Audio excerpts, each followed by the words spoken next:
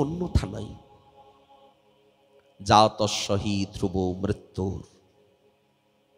যে জন্ম নিয়েছে তার মৃত্যু হবে। তাহলে চাইছো কেন? এটা তো তুমি না চাইতেই পাবে।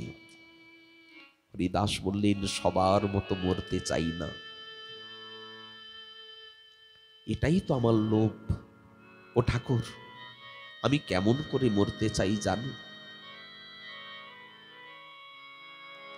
হৃদয় ধরিব তোমার। ও রাঙা চরণ, নয়নি হেরিব তোমার। ও চাঁদ বদন জিউহাই উচ্চারিব তব। কৃষ্ণ চৈতন্য নাম। এই মতো ছাড়িব আমি আমারই পরা। আমি কেমন করে মরবো জানো হৃদয়ে ধরিব তোমার ওরাঙা চরণ। যে চরণ ভক্তির সার যে চরণ হৃদয়ে ধরলে, আর কিছু চাওয়া পাওয়ার ইচ্ছা জাগে না। সর্ব পাওয়া হয়ে যায় প্রভু, আমি সেই সর্বসিদ্ধির সার সর্ববেদের সার তোমার সেই রাতুল চরণ আমার হৃদয়ে ধরব। হৃদয়ে ধরিব তোমার ওরাঙ্গা চরণ। নয়নে হেরিব তোমার ওচাঁদ বদন। আমি আমার নয়নকে ধন্য করব, সার্থক করব, রসময় গৌর বদন খাই দেখে। জিউহাই উচ্চারিব তব কৃষ্ণ চৈতন্য নাম। আর জিউহাকে বলব, তুই কৃষ্ণ চৈতন্যের নাম বারংবার উচ্চারণ কর। এই মতো ছাড়িব আমি আমারই পরাণ। প্রভু হরিদাসকে বুকে জড়িয়ে ধরেছে, হরিদাস! আমার যা কিছু সুখ, সব যে তোমার লইয়া। তুমি জানো না, আমার সুখ কিসে?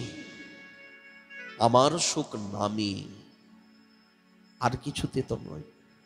তোমার যে নামে নিষ্ঠা, তোমার যে নামে বিশ্বাস, এ কার কাছে গিয়ে পাবো?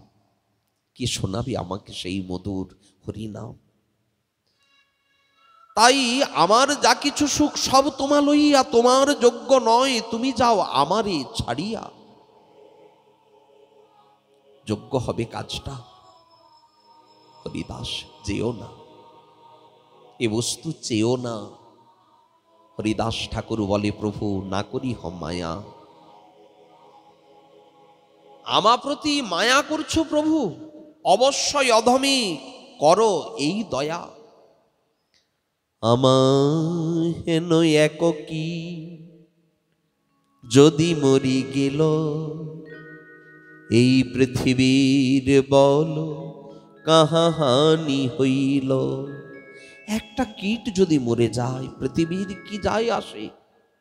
কিচ্ছু যায় আসে না। তোমার এত মহা মহা ভক্ত। মুই ভক্তা ভাস, আমি তো ভক্ত হতে পারি নাই। কিন্তু প্রভু, তবু করুণা করে তুমি আমাকে ভক্তির আভাসের ভিতরে তো ধরো। যোগ্যতা নয়, তুমি করুণায় আমাকে ভক্তাভাস বলে মানো। অবশ্যই অথমি প্রভু করই দয়া। দয়া করো, মায়া করো না। মহাপ্রভু সেদিন চলে এলেন গম্ভীরায়।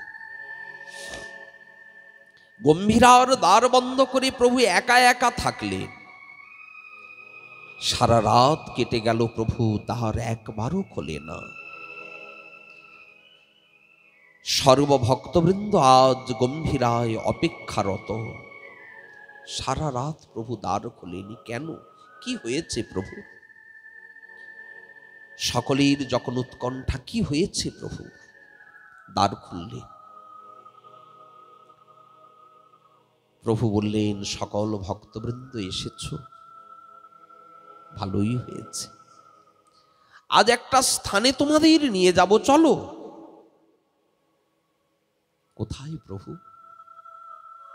হরিদাসীর বাসায়, ওই সিদ্ধ বকুল তলে।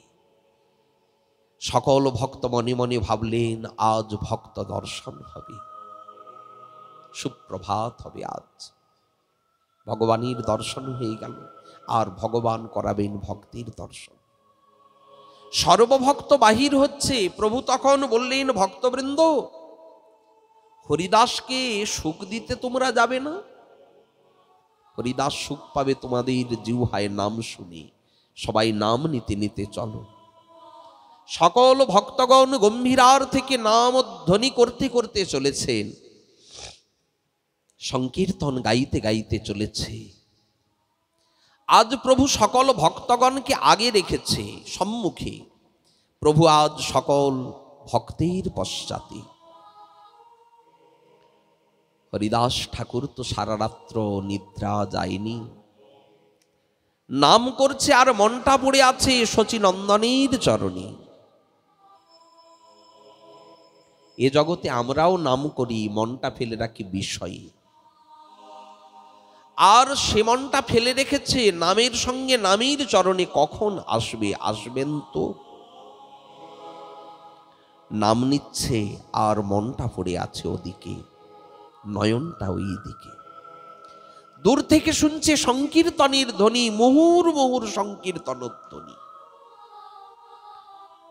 ভরসা হলো মনে, ওই তো সংকীর্তনের ধ্বনি পাচ্ছি, তাহলে সংকীর্তনের পিতা নিশ্চয় আসবেন। একে একে সর্বভক্তগণকেই দেখা যাচ্ছে, ওই তো গোবিন্দ দাস ওই তো সার্বভৌম, ওই তো রামানন্দ রায়, ওই তো স্বরূপ দামোদর, ওই তো কাশীনাথ, বাণীনাথ সকল ভক্তগণ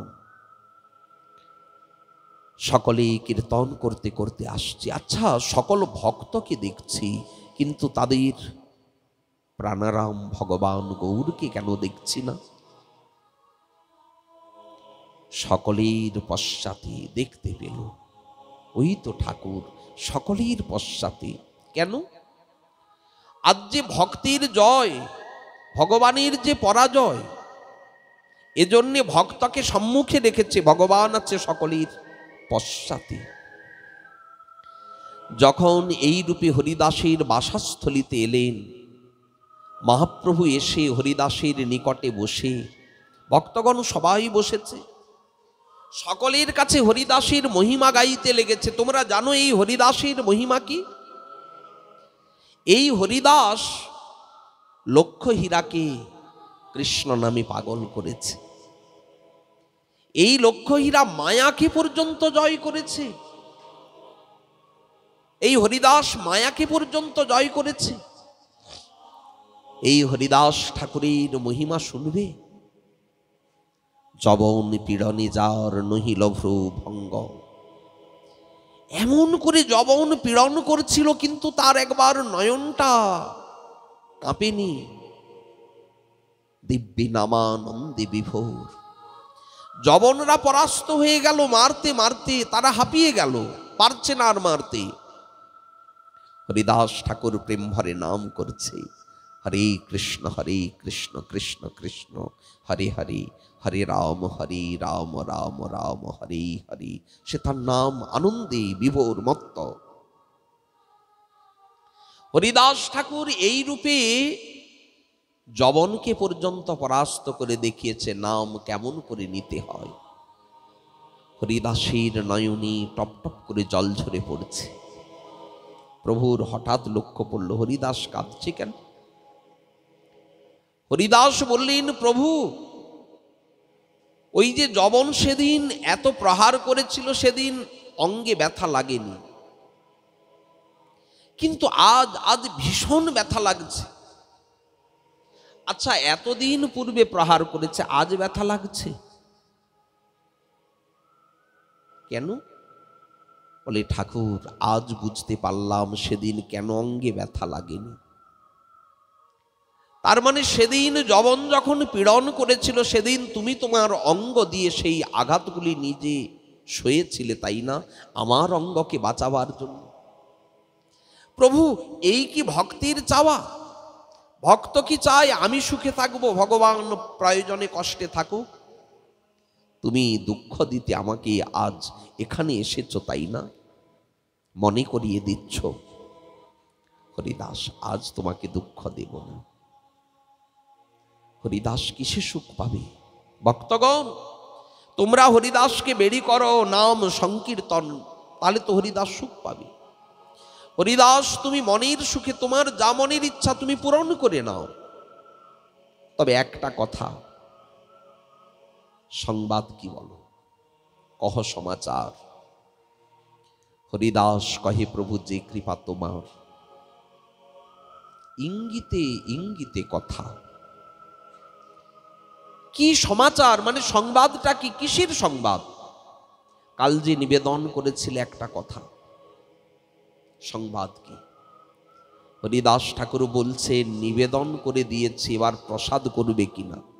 এ তো তোমার হাতে, আমার হাতে তো নয়।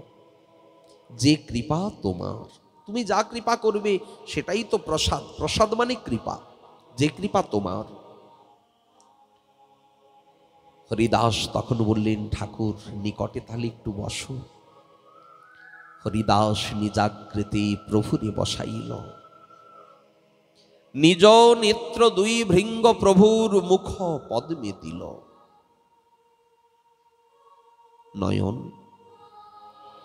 ওরে নয়ন ভ্রমর, সার্থক করে নে আজ। গৌর বদন কমলীর মধুপান করে, নয়ন তোর জীবনকে তুই ধন্য করে নি, সার্থক করে নি। হরিবলা রসের বদন রসরাজ মহাভাবীর মিলিত বদন। কত উন্মাদনা এই বদনের মাধুর্যে। এমন কে আছে এই বদন কমল দেখে স্থির থাকতে পারে? আছে কেউ জগতে ব্রহ্মাণ্ডে? যদি কেউ না আনন্দ পায়, তার তো নয়ন অন্ধ। যদি এতটুকু দৃষ্টি থাকে সে তো গৌর রূপ দেখে পাগল না হয়ে থাকতে পারবে না। এমনও তো হয় গৌরীর রূপের কথা খালি শুনেছে, চোখে দেখেনি। জন্ম থেকে হয়তো সে দৃষ্টিশক্তিহীন। কিন্তু গৌরীর রূপের কথা শুনে তাকে হৃদয়ে দেখতে পায়। সেও তো গৌর রূপে গৌর প্রেমে গৌর স্বরূপে মন প্রাণ সব দেয়। তাহলে যে দেখতে পায় না, সে যদি গৌরাঙ্গকে এমন করে দেখে, তাহলে যার বিধাতা চোখ দিয়েছে, সে যদি গৌরকে দেখে, না প্রেমে মারতে পারে, কিসের নয়নের দাম? সে নয়নে কি বা কাজ পড়ুক তার মুন্ডে বাদ সে নয়ন রহে কি কারণ? বংশী গানামৃত ধাম লাবণ্যামৃত জন্মস্থান যে না দেখে, সে চাঁদ বদন সে নয়নে কি বা কাজ পড়ুক তার মুন্ডে বাজ সে নয়ন রহে কি কারণ এই নয়নের কোনো দাম নাই, মূল্য নাই, মূল্যহীন। আজ মহাপ্রভুর বদন কমল, হরিদাস অপলক নয়নে দেখছে। আর কি করছে? সরিদয় আনি ধরিল, প্রভুরে রাতুল চর সর্বভক্তের চরণ ধুলি, মস্তকে ভূষণ। প্রভুর চরণ চকল বুকে টেনে নিলেন হৃদয়ে। গৌরাঙ্গীর দুটি পদ, যার ধন সম্পদ সে জানি ভকতি রসসার গৌরাঙ্গীর মধুর লীলা যার কর্ণে প্রবেশিলা, হৃদয় নির্মল ভিল তার ওই চরণই তো বুকে ধরেছে, হৃদয়ে ধরেছে। সহৃদয়ে আনি ধরিল প্রভুর রাতুল চরণ। সর্বভক্তির চরণ ধুলি মস্তকে ভূষণ। আর জিউহায় জিহায় বারবার শ্রীকৃষ্ণ চৈতন্য নাম। উচ্চারণ করছে। শ্রীকৃষ্ণ চৈতন্য নাম, কহিবারে বা, প্রভু মুখ মাথুরি পি, নেত্রে জলাধা। এত আনন্দকে কি আর ধরে রাখতে পারে হৃদয়? যে নয়নে গৌর রূপ দেখছে, যার হৃদয়ে গৌর চরণ, যার জিহায় শ্রীকৃষ্ণ চৈতন্য নাম, সে কি আর স্থির থাকতে পারে? সে তো পাগল হয়ে যাবে, সে তো উন্মাদ হয়ে যাবে, হবে কি না? এই রূপ দেখে কে স্থির থাকবে? ওই চরণে, হৃদয়ে ধরে, বাইরে নয়। একেবারে অন্তরের ভিতরে জিহায় অবিরত, কৃষ্ণ নাম, গৌর নাম, শ্রীকৃষ্ণ চৈতন্য শব্দ কহে বারবার। এত হৃদয়ের ভিতরে আনন্দ, এই আনন্দকে হৃদয় ধরে রাখতে পারছে না। যেমন নদীতে জল যখন অনেক বেড়ে যায়, নদী আর জল ধরে রাখতে পারে না, দুকুলে উপচে দেয়। হরিদাসের দুই নয়ন উপচে, আজ সেই আনন্দ ধারাই রয়েছে করুণাময়ী প্রভু, কত দয়ালু, কত উদার, কত বদান্য আমার প্রভু। আমার মতো এক অযোগ্য, আমার মতো হীন, আমার মতো মৎসম নাস্তি পাপাত্মা না অপরাধী চকঞ্চন।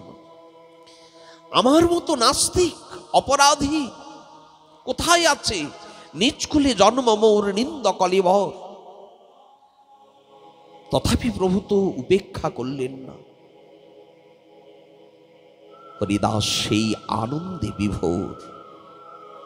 শ্রীকৃষ্ণ চৈতন্য শব্দ করি উচ্চারণ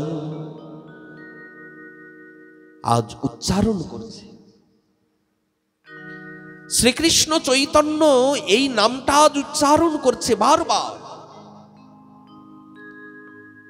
প্রভু মুখ মাথুরি পেয়ে নেত্রী জলাধার। নয়নে জল ঝরে ঝরে পড়ছে। শ্রীকৃষ্ণ চৈতন্য শব্দ করি উচ্চার নামের সহিত প্রাণ কইল উৎক্রম। ওই চলে গেল রে। হরিদাসীর নামময় প্রাণ ওই চলে গেল রে। আজ হলো সাধ্য সাধন নিরূপণ আজকে একটা নির্ণয় হয়ে গেল, সাধ্য এবং সাধন। সাধন কি? হরিনাম সংকীর্তন। কই আত্ম কিছু করেনি? ক্ষণে ক্ষণে করো তুমি সর্বতীর্থে স্নান। ক্ষণে ক্ষণে করো তুমি যোগ্য তপদান। দ্বিজ নেশি হইতে তুমি পরম পাবন। নিরন্তর করো চারি বেদ অধ্যয়ন। হরিদাস, তোমাকে তো কিছু করতে হবে না। যজ্জিউহাগ্রে নাম বর্ততে তুভ্যম। তোমার জিহ্বা অগ্রে অবিরত এই কৃষ্ণ নামের ধ্বনি। হরিদাস, আজ তুমি প্রমাণ করে দিলে সাধ্য এবং সাধন। সাধ্য হরিনা, সাধন হরিনাম সংকীর্তন। সাধ্য শ্রী গৌরচরণ। কেউ যদি সারা জীবন করে নাম সংকীর্তন অন্তে অবশ্য মিলে সেই গৌর চরণ। তাই সর্বভক্তগণ দেখছেন, যখন উনি বললেন, জয় শ্রীকৃষ্ণ চৈতন্য। আর বলতে বলতে হরিদাস ঠাকুরের প্রাণটা ওই চলে গেল রে।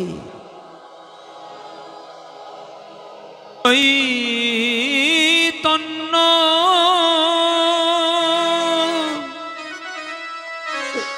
প্রভু নিত্যানন্দ হরে কৃষ্ণ হরে রাম। শ্রী রাধা গোবিন্দ। শ্রী শ্রীকৃষ্ণ চৈতন্য।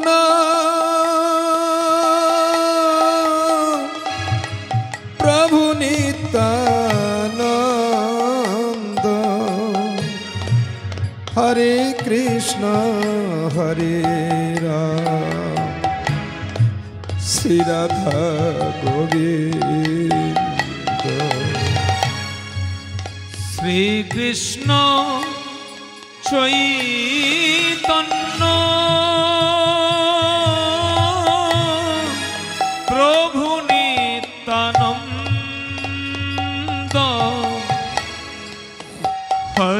কৃষ্ণ হরে রাম। শ্রী রাধা গোবিন্দ। শ্রীকৃষ্ণ চৈতন্য।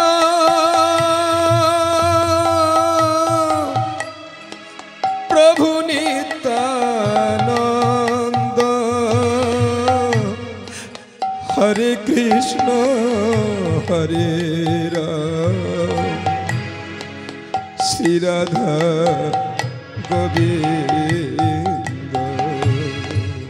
হরে কৃষ্ণ হরে কৃষ্ণ। কৃষ্ণ কৃষ্ণ হরে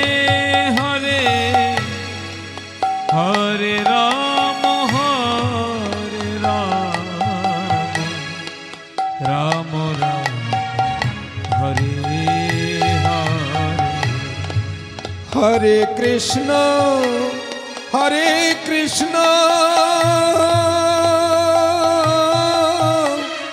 কৃষ্ণ কৃষ্ণ হরে হরে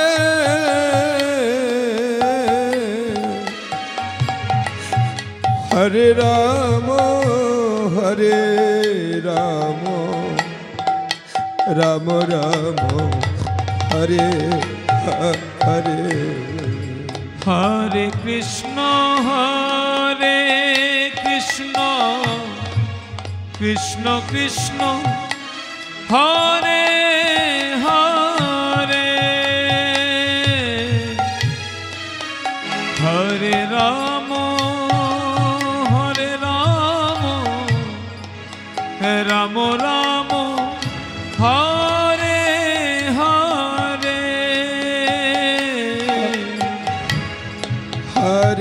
হরে কৃষ্ণ হরে কৃষ্ণ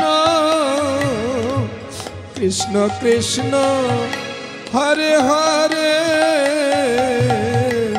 হরে রাম হরে রাম রাম রাম হরে হরে হরে কৃষ্ণ হরে কৃষ্ণ কৃষ্ণ, হরে হরে হরে রাম হরে রাম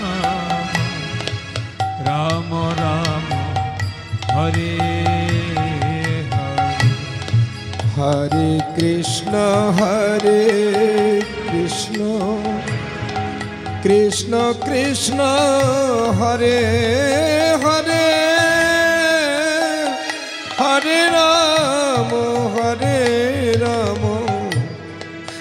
রাম রাম হরে হরে হরে কৃষ্ণ হরে কৃষ্ণ কৃষ্ণ কৃষ্ণ হরে হরে হরে রাম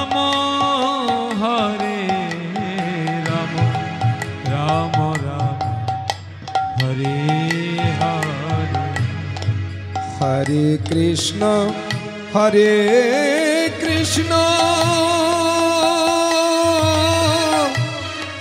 কৃষ্ণ কৃষ্ণ, হরে হরে হরে রাম হরে রাম।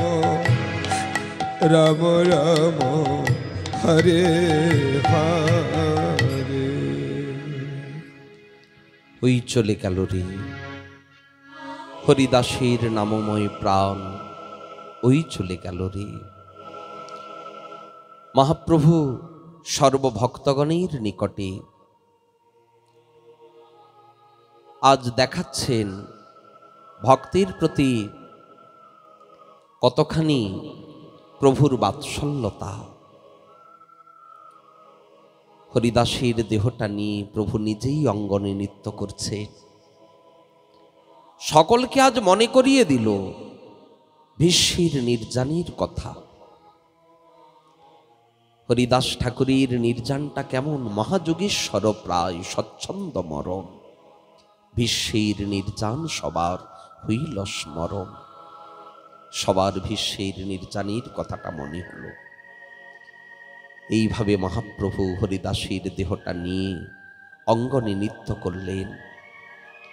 কারণ আজ ভক্ত জিতে গিয়েছে, ভগবান হেরে গিয়েছে আজ। এতেই প্রভুর জয়। ভক্তকে জিতিয়ে ভগবান আজ মনে করছে এটাই আমার জয়।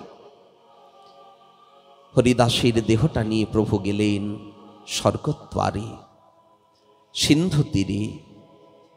সাগর জলে ভালো করে স্নান করিয়ে দিতে বলল হরিদাসকে মহাপ্রভু বললেন যে, দেখো, আজ হরিদাসীর পাদদক এই তীর্থে পড়ল। সাগর তো তীর্থ। হরিদাসের পাদদক যেহেতু পড়েছে তীর্থে, আজ থেকে এই তীর্থ মহা তীর্থ হইল। পুরীর সাগর কিন্তু শুধু তীর্থ নয় মহাতীর্থ মহাপ্রভুর নিজের ঘোষণা হরিদাসীর পাদদক এখানে থাকল। এ কারণে ভক্তগণ পুরীধাম গেলে এই সাগরের জল মাথায় নেবেই নেবে। কারণ সর্বতীর্থ হচ্ছে এই তীর্থ, আজ থেকে এই তীর্থ মহাতীর্থ হইল। হরিদাস ঠাকুরকে ভালো করে স্নান করিয়ে সেখান থেকে নিয়ে এলেন। বালুকা নিজের হাতে প্রভু খনন করছেন। আসলে প্রভু চিন্তা করছেন, হরিদাসকে আমি সংরক্ষণ করে রাখব। তবে তো আমার নাম সংরক্ষিত থাকবে। নামকারী, সে তো আমার সব থেকে বড় ভরসা। যেমন আমরা বলি, নাম এবং নামই অভিন্ন। যেই নাম, সেই তো স্বরূপ। আবার এটাও তো মানতে হবে, নামকারীর জন্যেই তো নামের প্রকাশ। তাহলে নামকে যদি সংরক্ষণ করতে হয়, নামকারীকে আগে রাখতে হবে। জগতে যদি নামকারী না থাকে, নামটা জগতে থাকবে কোথায়? নাম তো থাকে নামকারীর কাছে। হরিদাসকে আমায় সংরক্ষণ করে রাখতে হবে। বালুকা নিজের হাতে খনন করছে। একবার হরিদাসের বদন পানে তাকায়। একবার বালুকা খনন করে। প্রভুর নয়নের জল বালু খনন করতে দিচ্ছে না, বালিগুলি আবার এসে মিশে যায়, কারণ প্রভুর নয়নের জলে ভরে যাচ্ছে। প্রভু ভাবছেন, হরিদাসকে এখানে আমি রাখব কি করে? যাকে আমি চিরকাল আমার হৃদয়ে রেখেছি। এই জগতে কে এমন আছে যার জন্যে নিত্য আমি তাকে দর্শন করতে যেতাম? এই হরিদাস। কে এমন আছে নিত্য তিন লক্ষ এরকম করে নাম শুনিয়েছে আমার তাহলে সেই হরিদাসকে বালির ভিতরে তাকে আমি রাখব কি করে? মহাপ্রভু নিজে বালুকা খনন করে ভক্তগণের সহায়তায় নিজের হৃদয়টাকে চাদর রূপে বিছিয়ে দিলেন আগে। হরিদাসকে রাখব কোথায়? বালি বালির ভিতরে নয়, আমার হৃদয়ের উপরে। হৃদয়টাকে চাদরের মতো তিনি বিছিয়ে দিলেন। হরিদাস ঠাকুরকে তার মধ্যে বসালেন। হরিদাসীর বদন পানি বারবার প্রভু তাকিয়ে আছে। অপলক নয়নী। হরিদাস একটু আগে তো মহাপ্রভুর বদন পানে অপলক নয়নে তাকিয়েছিল। তাই না? নিজ নেত্র দুই ভৃঙ্গ প্রভুর মুখপদ্মে দিল হরিদাস ঠাকুর। এখন হরিদাস নিজের ভাবের আবেশে আছে। আজ সেই ভাব পরিদর্শন করেছেন স্বয়ং ভগবান শ্রীকৃষ্ণ চৈতন্য। মহাপ্রভু হরিদাসকে অপলক নয়নে দেখছে। হরিদাস কে আমাকে শোনাবে আর হরিনাম। কি আমাকে হরিনাম শোনাবে আর? তুমি আমায় ছেড়ে চলে গেলে। ভক্তগণ বলছেন, প্রভু, হরিদাসীর অঙ্গে প্রথম তুমি সমাধির ব্যবস্থা করো। বালু দাও। মহাপ্রভু হাতে বালু নিয়ে কি করে বালু দেবেন হরিদাসীর অঙ্গে? মহাপ্রভু মনে মনে ভাবছে আমার হাতের পরশে বালিগুলি তো আর বালি থাকবে না ও প্রেম হয়ে যাবে। হরিদাস যে রূপে নাম করেছে তার তো প্রেমেই ডুবে থাকা উচিত। জনম জনম তিনি প্রেমে ডুবে থাকবেন। প্রেমের ধারা যেন হরিদাসীর অঙ্গে দিলেন সর্বভক্ত এই রূপে হরিদাসীর অঙ্গকে সংরক্ষণ করলে। আজও আছে কিনা? হরিদাস ঠাকুর আজও আছেন ওই সাগরের তীরে। ওখানে গোপীনাথ কাকু বলে এক বৃদ্ধ মহাত্মা ছিলেন। সেই গোপীনাথ বাবা, গোপী বাবা বলে ওনাকে সবাই ডাকতেন।